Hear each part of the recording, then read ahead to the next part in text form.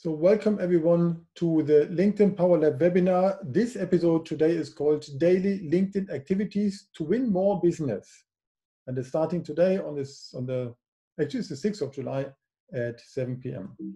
So let's get started. So first of all, for those who don't know me yet or have not attended yet one of my webinars, my name is Gunnar, which apparently is a Swedish name. I'm here in Australia and uh, I came from Switzerland. I'm very happy to have also a Swiss um, visitor on the line here as well today. In, in my profession, what I'm doing, I'm a social media consultant working in the social media software as well. I created two online courses and I'm writing about social selling, which basically is the way how you can use LinkedIn and social media to advance conversations into close business. And I'm also a book author here. I'm with one of my close colleagues, um, with Duncan Fish, who also is a nice example how a profile can look like on LinkedIn, and I will come about that. The left picture shows me at the New South Wales Business Chamber, and when I came to Australia four years ago, I started to really enjoy strategic networking, and LinkedIn is the online version, and here we see the New South Wales Business Chamber as one example of the offline version, but hope we will have soon again. So what I would like to cover today in a session about maybe 45 minutes overall, plus minus, are a couple of topics in terms of what we can do on a daily basis. I put it into three areas. One of them is called prepare, to set the foundation in place. The next one would be plan, to split the work, because we do not just work on a daily basis on LinkedIn. We need to better think about what we do in certain parts of the day um, or the week and then also to perform. Here come really the daily activities. Those who know me a little bit better, they know my passion for three times the same letter, starting here with three times P. What I would like to have here today, with all of us being on the call, if we have the chance to contribute in the chat, that's better for a little bit typing some kind of a question what I would ask instead of having it on the noisy side with the microphones. I think that might be the best way to handle that. So, let's let's get started. I see that many are there, and even some are, are in the call without sound, without picture, but that's fine. So first of all, LinkedIn and general social media these days, in particular in 2020, for many people is totally an overwhelming experience that you have the feeling it's everywhere. Since we have this pandemic situation, people are using more social media for things which normally they have been consuming in a different way. So 62% of US Americans, for example, they are using social media to obtain their regular news. That's quite a lot. That's much of an increase compared to what has been there before. So social media is here to stay, and that is where many thoughts are put out, where many conversations are happening. And when we take this further into topics like um, the chat tools, not only Facebook Messenger or LinkedIn messaging, but also WhatsApp or WeChat, that is where, since the lockdowns, a lot of conversations are happening. And that will not go away. The only question is how can we manage our day properly so that we don't run into the issues of being totally overwhelmed, that we are missing the right conversations, and here we need to do something. And I will give you a couple of tips and tricks out of what I learned and what I'm doing on a day-to-day -day basis. So let's go further. First of all, the topic is about how to prepare accordingly. We cannot simply just say, oh, we do this, this, this on LinkedIn without a foundation in place. So let's look first what we can do and prepare for that. First of all, and there comes short question also to you. For me, LinkedIn is a newspaper, as you just have seen the picture beforehand, but it's your newspaper. You are the editor of LinkedIn, not LinkedIn itself. Every one of us has different topics what we see on LinkedIn, and I like this. It's very personalized, but we need to be as efficient as good as possible on LinkedIn so that we are not overwhelmed, but that we can do the tasks we would like to do to get the best out of the platform. So little, little question to you, small one. How much time do you spend on LinkedIn per day by average? So curious to see in the chat what you say. How much time do you spend on LinkedIn per day? So for me, it's 30 to 45 minutes. Khushbu, same, 30 to 40 minutes. Another 30 to 45 minutes. Please type in the chat. I'm curious myself. Melissa, two to six hours. You are a writer. For a writer, it's a little bit of a different thing. So that's good.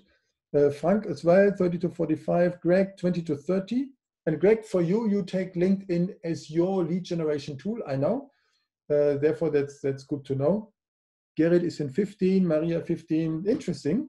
Thank you for this. Michelle is longer as well, but Michelle, your network is so huge. Of course, you like to engage with the right level of people. I understand that. Cool. Ah, yeah, and Gerrit also adds something more on Sales Navigator, which is another topic within LinkedIn, but we will not cover this uh, today. And uh, I know that some of us like also to use the LinkedIn messaging as a way of how to chat instead of a WhatsApp, instead of some of the others. So that's good. Thank you for this one. Interesting.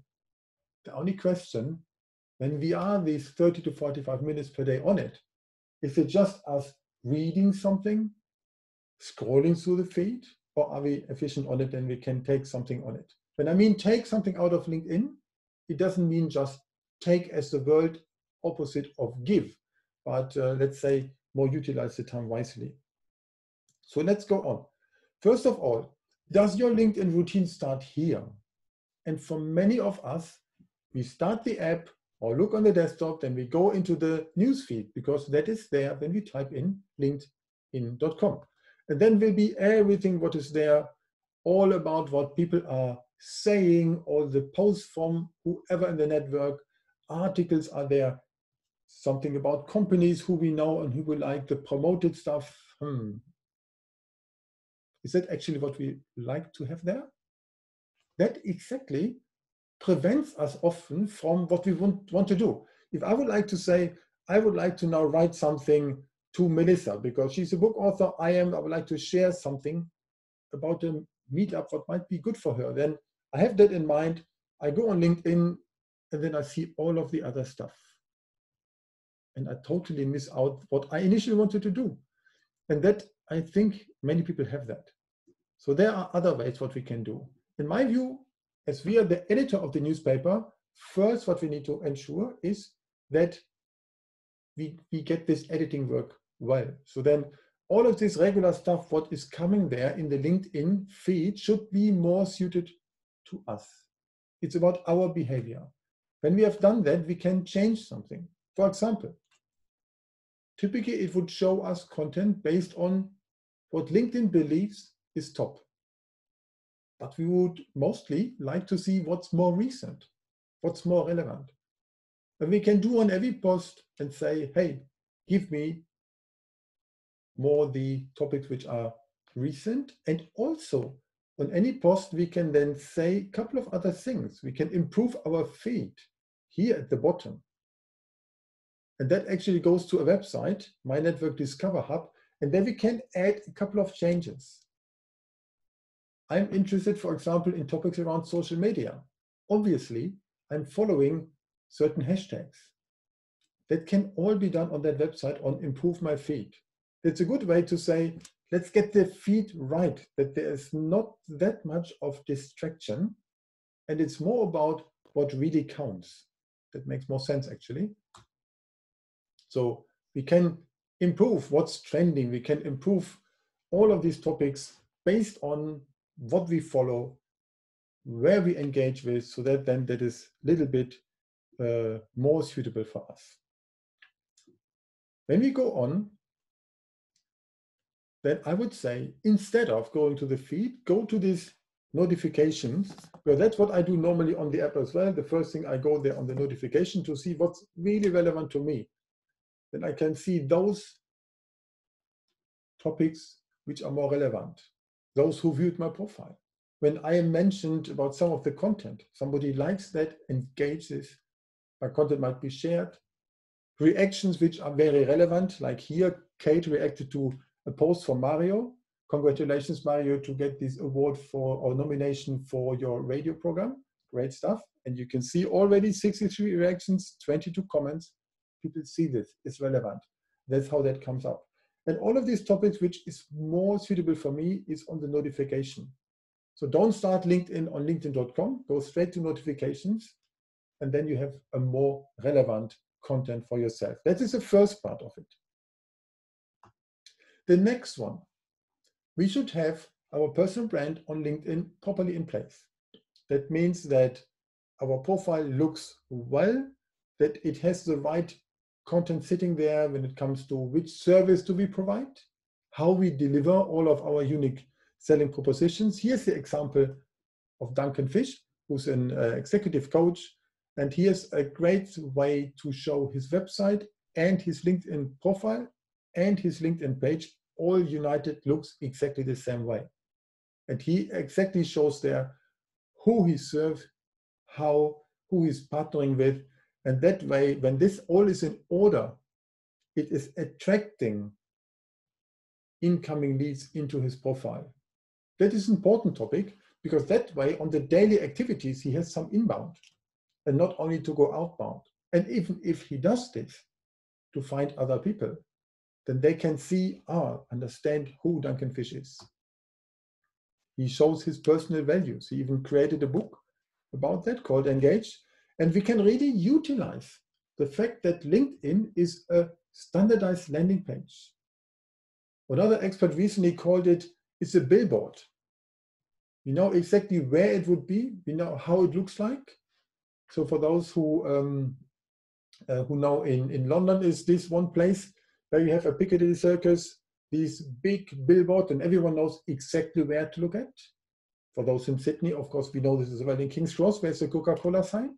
Same way you can tweet also these LinkedIn profile. When that is in order, then we have much more advantages, many more advantages how to work on our daily activities. So the next one, what I would like to have also in place that we have the capability is how to write create a LinkedIn post ourselves, not the long format article, but the regular post. Because when we talk about getting more efficient out of the time we spend on LinkedIn, it would be good to have the capability to quickly write a post. And some of us, they just have some thoughts during the day, put out great content, and that can have a huge engagement. And Raul, you are one of those examples who recently grew your LinkedIn activities in a sense that you have thoughts on your leadership style, you put this on, and then quickly you get great engagement without big planning before that. That's good one. So typical content format, as we know, it a post has can have a couple of pictures on it, text which fits exactly on a smartphone screen these days, about 200 words plus minus. You can use the hashtags, you can use photos. Close with the question is what I like to do to get engagement. If I don't do this, I have less people liking or commenting, which means I have less daily activities to follow up. So better I do this. And in this post, you can see I'm even I even started with a question. Sometimes I'm closing with a question. So that works quite well. And for well-performing posts, I also keep the URL. So that way I know where it's going to. That's a good one. So what else? You can put everything together. These days you can also add polls. They have been launched a couple of weeks back to have good posts that can be done on a quickly, very quickly base. So that's important that we know how that is working well and that is not a big hassle. So for this post, I would typically take about 15 minutes max, including choice of pictures. So that's how that would, would work. So Next one. When we have this, everything in place. We have a profile, we know how to post well, that we have efficiency on it. Then let's look into the second step, which is all about plan. When we are planning our activities, I split it into the weekly work and the daily work. So for the week, in my view, it takes me one or two hours per week, typically maybe on a Friday afternoon or on a Sunday, never on a Saturday. And I put it into three type of topics what we are doing. I'm a big fan of creating content in batches so that I write maybe three or four posts already when I have the knowledge or the idea. or I have pictures which inspire me, or I attend an event I would like to summarize this, but I don't post it in that moment. There's a couple of reasons for this. The biggest engagement comes when we post at the right time, when the audience is there. And that means I can create whenever, but I post it then, because the first two, three hours, they count. That's important. I write it in a way that is also engaging so that people would want to read it. So I write it and plan the content in batches. I have an editorial calendar of spanning over three months, and I can fine tune this as I go. Those of you who follow me, they might see that on Sundays I write something completely different, different topic, more about personal development, or something in the area of, uh, of, of leadership, of knowledge gaining, different topics, but that suits for a Sunday. I would say posting three times per week at least, not too often. Some people are posting five times per day. When that fits the personal brand, it's fine. But if you are starting from posting once a week, you don't go straight into five times per day. So that's the educate part, where I educate myself and plan this and with the purpose to educate further. Then there's another topic which for me is important for the week, that is enjoy. That might come as a surprise that I choose this word. But LinkedIn, as it's my newspaper, it's also a way how to learn for personal growth. That in particular is the Sunday topic. That I read great articles which are maybe on Medium or, or other blog areas, and they're really good. So then I use this and plan when I can share some of the topics. It helps me to enhance skills for networking online or offline, and it shapes also curiosity. So we should put this in that sense connected to LinkedIn in the calendar as well to enjoy. And then to examine to find out what did actually work, to capture what I learned, to note it somewhere, and with that way I would I would have that. So document the effort in numbers, also what I'm doing. I'm working in sales business, so it's obvious to have numbers. And I'll show you some examples. So some, uh, some other uh, colleagues joined. Hi, Chris. Uh, hi, Frank. So good to have you there as well. So let's go. So the for the week, the one or two hours I spend would be on educate, enjoy, and examine. So what do I mean with that? You can use the social media calendar. There's plenty of tools, and I found one from Hootsuite uh, where you would have a, a, kind of a calendar that's on a Google Sheet where you can find out which are the topics you would like to post by the, by the content areas um, in whatever way you would create it. Also to find out in which channel you would like to post it. You can find plenty of them on the web. But it's good to have an idea in a calendar. For example, if some of you um, like like like uh, uh, who could I choose for here as one of those which we have in the call. So for example, if Frank, who also is, is, is a great, uh, great advisor and coach, if Frank, you would have some service after your clients are in this COVID-19 uh, uh, struggles and you can help them and you put some new program on for your clients by maybe in end of July, then you would create pieces of content which are leading to that. So then, then you have this type of Big Bang launch event for that. And uh, you create a reverse engineering which posts need to be created until then. The best way is to use the social media content calendar. And then we have that. Then of course the question, how do we plan sharing and scheduling this? So here's one example of a tool from Hootsuite where it's all about how a content calendar can be created in the sense of which types of content I would like to share when. Great for, let's say, mid-sized to large enterprises that they have this somehow in order and know what's going on. And then a campaign would fall out, then the rest is still there or it can be all adjusted. So there are tools available. And if you don't use tools for scheduling, we need to ensure that we post our content at a time when our readers are there, which is not always easy when we take different time zones, but at least it is something which is indeed possible. So monitoring. I'm looking on a weekly base where I stand in terms of my numbers on LinkedIn. So here we have something from, from last year. I was have been checking how many views over 90 days, number of contacts which I've had, the social selling index. Some of them are not maybe the most important numbers, but just for the gamification. But more interesting for me is if the posts don't have views, they don't have likes and comments. And the comments, that's what's count. So um, as an example, when I've been in Brisbane and I met with Greg, as in the call, um, there was one gentleman who attended the same event and he commented within that event post I've done about, hey Gunnar, thanks for sharing. Can please your Queensland sales representative give me a call? I have a client who needs that. That was directly in a comment on LinkedIn. If I wouldn't write about it, he wouldn't comment. I've not even been first grade connected. So starting creating the posts, entice them that they get views, and then you also get the likes and the comments. And that's what then helps a lot. The numbers can be completely different for, for most of you. I mean, there are some of you like, like Michelle, you might have maybe, maybe 10 times higher numbers.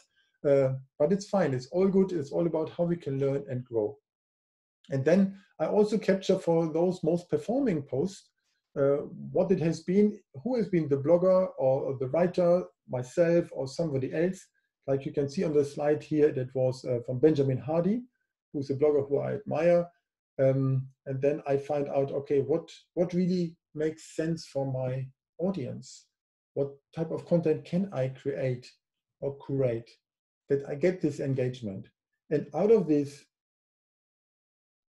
capturing, I got a lot of insight from that to find out what's the right time, when do I write something uh, to adjust about it, and that is shaping my daily activities. So I do this exercise maybe on a weekly basis to go through my numbers.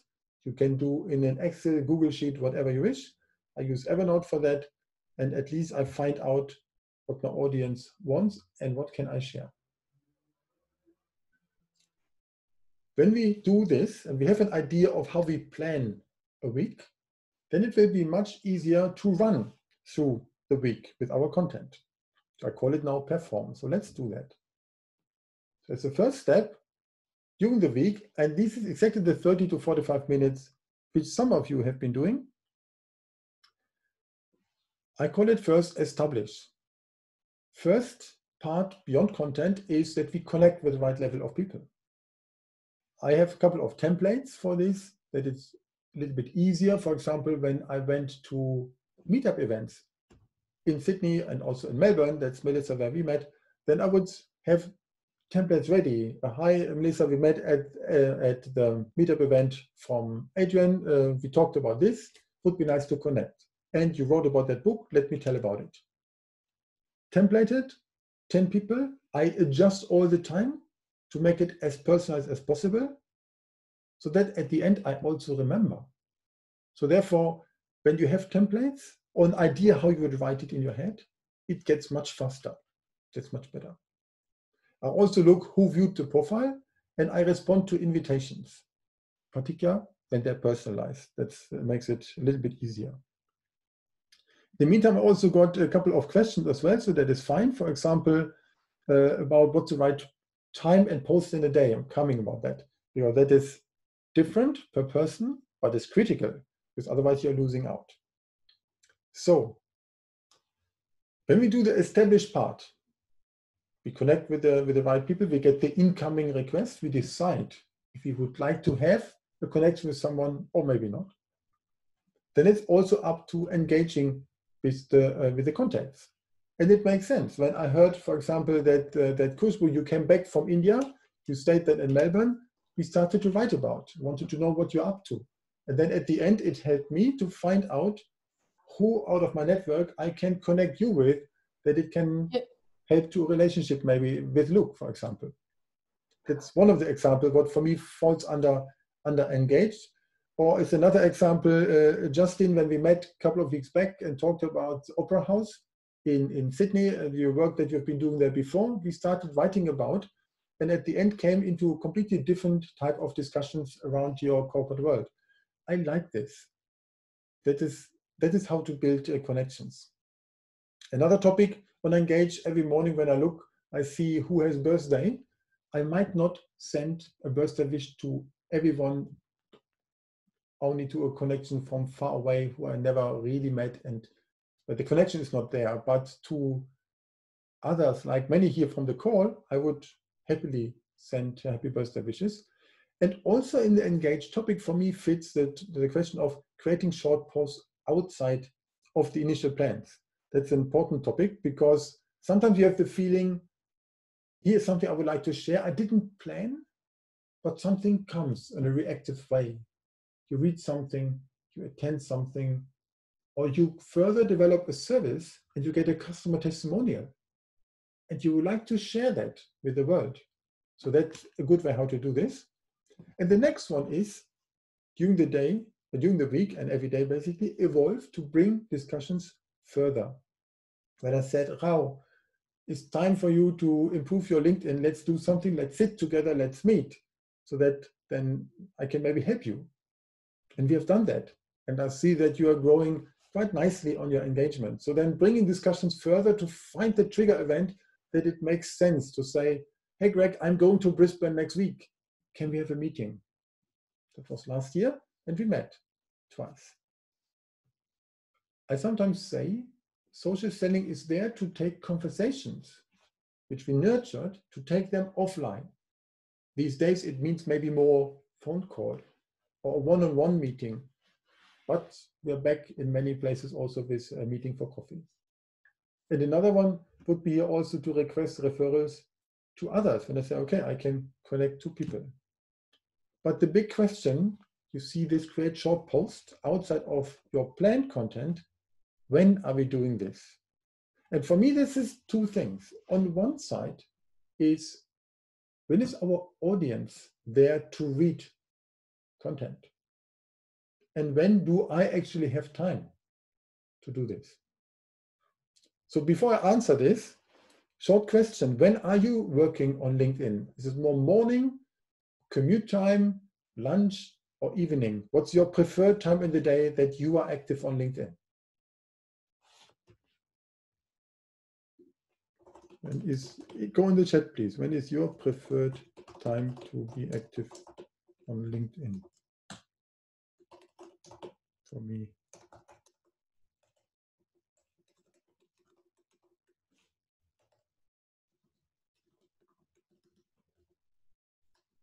interesting. Already see some. Khushbu says morning. Many say morning, so that's good. Okay. Many are morning. Yeah, and some like like Michelle, you're right. Sometimes it's also uh, different areas in the time. The interesting thing for me is since we have the um, pandemic, it's different. I used to use LinkedIn a lot when I'm on public transport, which goes quite well, uh, the ferry, in the bus, whatever. But now this time is more dedicated to work. But um, when I go in to exercise outside, to go walking in Sydney Harbour, it's too sad to watch on the smartphone. But I think many of us find time in the day. So the question for me is, when is the best time to post? And there's plenty of studies, and I would say there's about 7.8 billion answers, or let's say everyone has a different. Depends on the audience and your preferences in my view, what works well, the days are different. That's number one. And the time during the day is different, number two.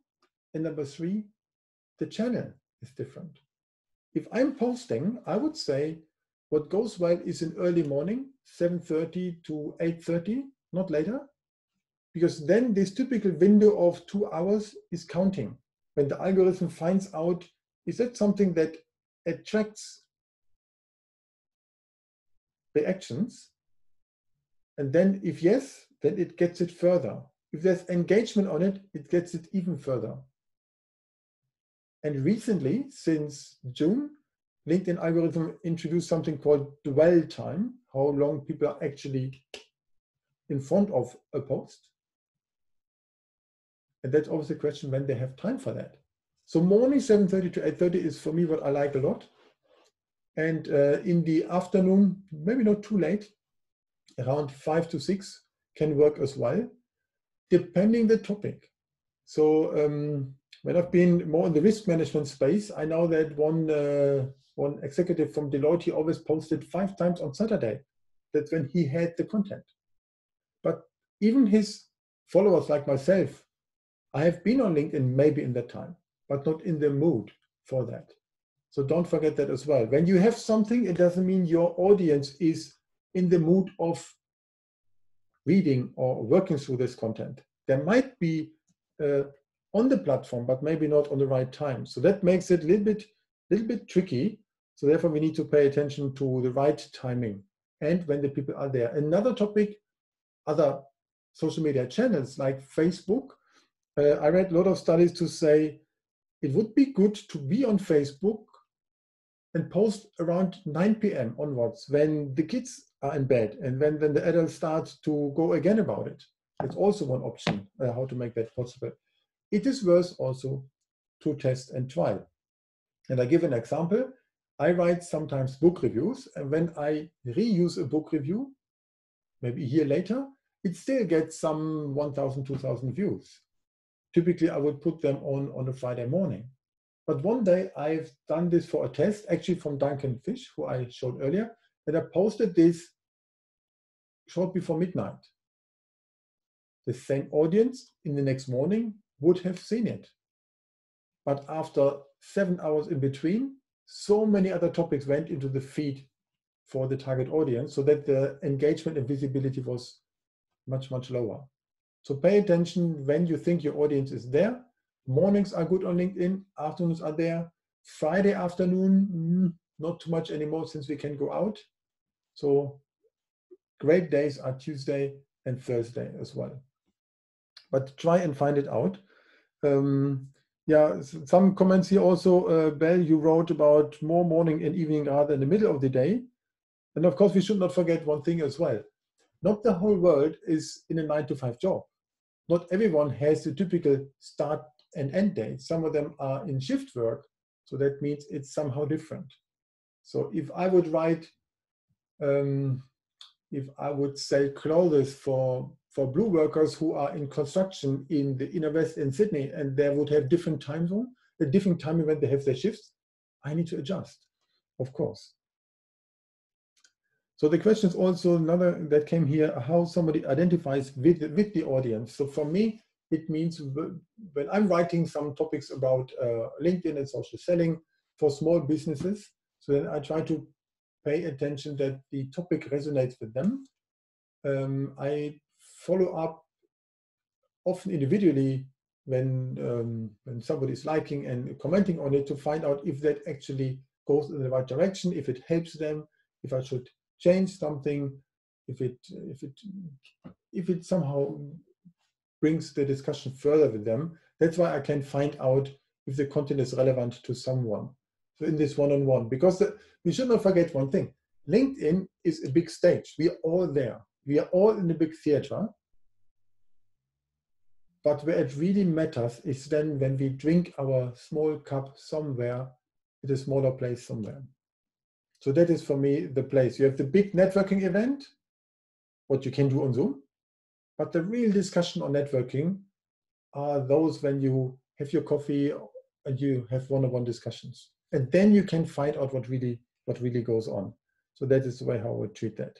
So the time during the day, it really depends. I'm I shifted a lot towards mornings. And when I post twice or three times per day, then I would say afternoon is the second option and uh, just before lunch is the third option. And if I would post three times per day, again, I pay attention to which content is worth the morning and which more about a lunchtime or the afternoon as well. There's a lot of finding out and testing. So the next one, the question is when we write this and we would like to have people seeing this, it doesn't always work. So therefore, sometimes we have the feeling, but why the person doesn't see this? We are connected. She should know this. She should have it in her feed. But often it doesn't work because the um, like inboxes on email are overflooded, same time with the irrelevant LinkedIn feed, same kind of game. So what I can do, I can say, for example, if I would realize that I have a piece of content which is um, very important for a group of people. When I've been in risk management and business continuity, I would say, Chris Miller, she should see my content. Chris, you're on the call. So then I would take this piece of content and share directly, the URL, into a post. Like what here, Lloyd Bromfield has done exactly that to me. He went to Israel end of last year. We talked about something about um, my former company Noggin, and he said, that is relevant. I would not have seen it in the feed, but that's how I got the, the notification about it. And then I started to build relationship with him, um, and that's way how that went quite well. So use for your content also messaging to ensure the right level of people can see that. And I'm not a big fan of pitching on it. So the other way how we can get our content through and tell someone about it is to say, okay, we can use the LinkedIn messaging, but we should use it in a way that it can a little bit disrupt it. So the tricky thing is the LinkedIn messaging part is not a real inbox. The only filtering I can maybe do is read or unread. I can see that it's still visible in bold but I cannot really filter and group it somewhere. I can't do that. So then what I'm doing then to say, we can use voice or even video. And here we have the example of, of Edward, been talking earlier in the call about it, and Edward would do this. He would use it, and Bell, you do this as well, use it like a voicemail. Perfect. I can always have it there, and I can even go back, what did, you, what did you tell me last week, for example? And you can add video as well. It's simply there, always in the in the app in the apps in the mobile apps um, you would have this microphone instead of typing a message you would record it if you press on the plus symbol then you would have all of the other options like camera video can send a location i'm lost where should i go everything like this quite powerful only need to find out what works the better we know that the easier our daily activities on linkedin are and you can disrupt the inboxes. That's a good way for that.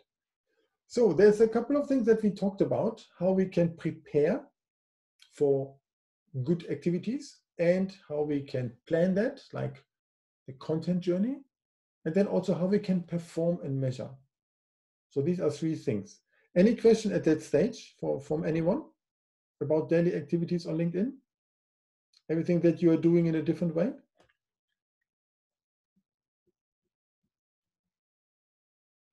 So if not, let me go to the, uh, to the next part, what I wanted to share here as well.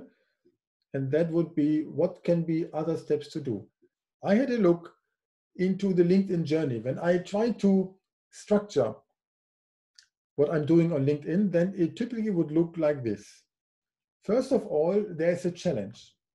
Why should we use LinkedIn properly? How can we grow our online presence and, and shape the personal brand and that's not just about us, but also defining the target market. That's the first part of a LinkedIn journey, or the first act, so to say. The second one is about all about connecting well, which includes the profile uh, improvement that I talked earlier, finding the tribe.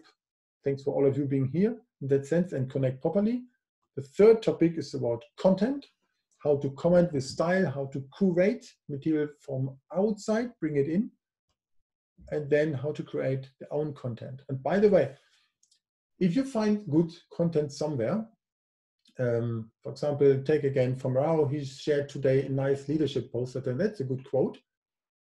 I could take this and I could share it with my network. But I need to have the view of the reader. So Justin, when you've been working at the, at the Opera Australia, for example, and I started to write the opera reviews, I would write about it for my readers in the magazine in Austria. I would not write just about I love opera. Always target targeting the audience. So therefore, if I create content from somewhere, like the leadership sentence uh, that you shared around today, if I share it further, I need to write an enticing part why I believe that makes sense. And then I get engagement. If I don't do it, then people see oh, I just forwarded. The least engaging posts on LinkedIn are just those which are shared without anything. Not, not very much is happening with them. You need to put reasons on it. And of course, creating their own content. And the fourth one is about converting. And that's exactly where we have been establishing a winning routine, what I had in the slides before, to take your 30 to 45 minutes in those activities. And that way you can advance to the next level. Does it make sense? So that for me is a dozen of, of things. And uh, those who know me a little bit better might now wonder that all four words are starting with a C. That's the beauty, the view of the non-native English person, what I love on the language. So that's what how I structure the whole story. Um, and what I would like to also show you at, as we are coming towards the end uh, of the call is um, I structured also knew how I could help on that journey. So it's also exciting news to share today. First of all, on my website, gunnarhabitz.com.au, there's a way how you can get a little bit of a discovery call. So I'm happy to help jump on a Zoom call or meet for a coffee where possible and to find out how a profile can be optimized, how I can help. That's the first step, so to say. Can I actually help someone? Michelle, you are already great on LinkedIn. Glad you're here. But um, we can fine tune a bit, but of course, um, we can add something. And just talking to you, uh, thanks for your question. What I think about the LinkedIn stories. So for those who haven't seen it yet, uh, Australia is one of the first four countries where LinkedIn is adding the stories, like Instagram, like Facebook. Not sure if all of you have seen it on the LinkedIn mobile app. And um, to the question, what if I like it? So you might see it here at the at the top. Come all of these um, typical rounded uh, symbols. If there are some of you there currently, uh, not necessarily. None, none of the call here is on there. It started a week ago, and uh, for me, it's a funny way how the platforms are getting closer together, but it's not always necessarily good. Let's see what comes out of this one, because if you use stories, then it is content that shines only for a short period of time. Um, let's see. So I create it only once when I have something that makes sense, like pictures and nice. But for me, it's too much blurring between the more Facebook-like content or Instagram and the serious, boring part of LinkedIn from years ago. So let's see how that will uh, actually evolve. So I do discovery call if somebody needs help on LinkedIn. Shortly talking, how can I find out? And I will get you the link uh, uh, how to schedule a time for me in a coffee. That's number one. Number two, I just adopted and changed my Facebook group. I used to call it Social Selling uh, Sydney, like my media group, but now I call it Organic LinkedIn Community. Why organic? I am a huge fan of growing constantly and not getting into LinkedIn automation and buying leads to go this high and then fall down because LinkedIn will put you in jail that actually exists. So more the organic one, based on content, based on curiosity, based on empathy, getting conversations and turn them further. And uh, I have this Facebook group and now I will evolve it further. So then I take part of what I'm blogging around social media anyway, I put it also there to build more a community and provide what I have in terms of free content to put it there. So then there will be kind of a kickoff for this one as well. And the third one, I now started an, a membership program. So those who know that I created a course about social selling, that's the larger one.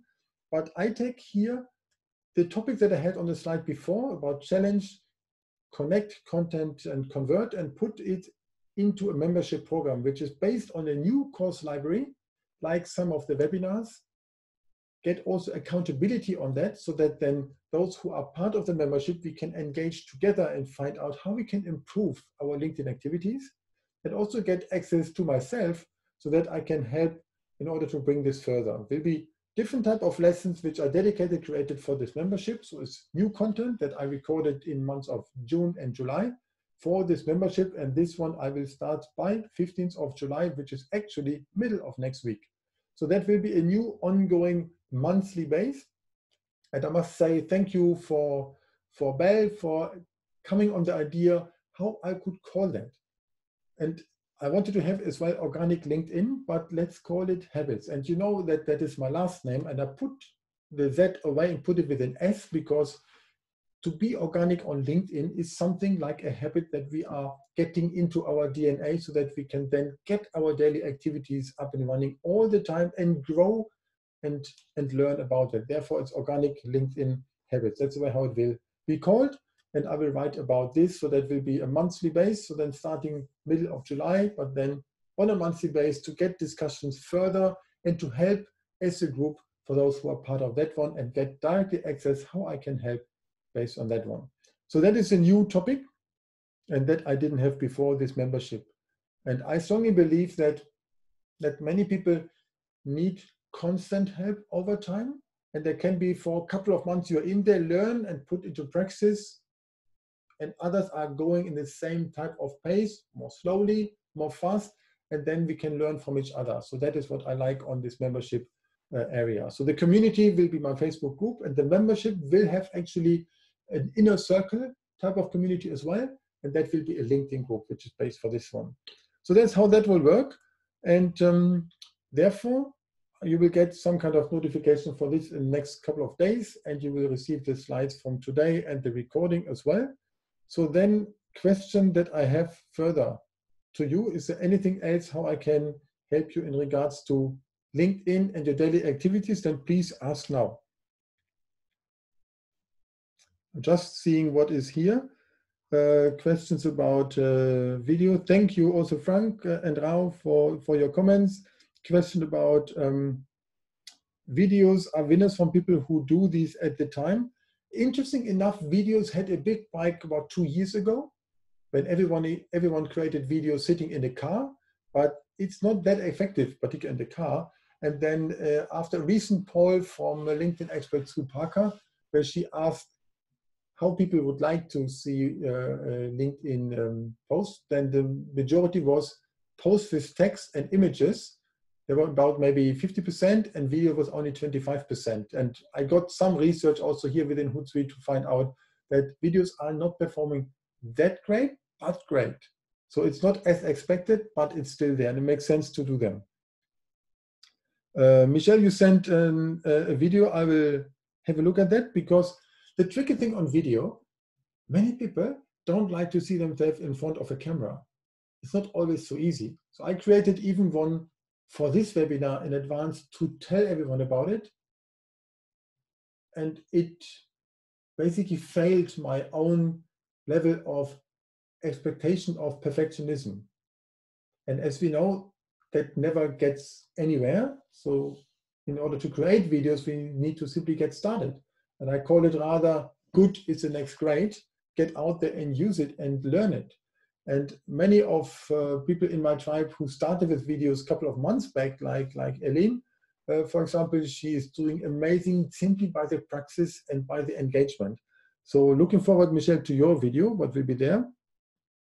Um, so the mo most engagement is also uh, Rao asked as well there. I will share this from, uh, from the poll that I got from, uh, from from Sue. That would be interesting.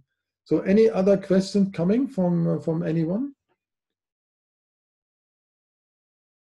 Ah, yeah, there was another question in regards um, in regards to uh, videos. The question is what to use them for. And if you go into my LinkedIn profile, I have a few videos there which have been done, recorded a bit more professional, and they are perfect to sit there in your about section, in the featured section, and they help to show you as for your branding. So that is great. Because if I would like to work with someone, let's say I'm looking for a business coach, I get two recommendations, websites, services, all the same. But I would like to find out how is it to work with the person before I engage them. I don't want to meet two hours this person and two hours the other person. So videos help exactly to simulate this. And that's why some videos are great to be there.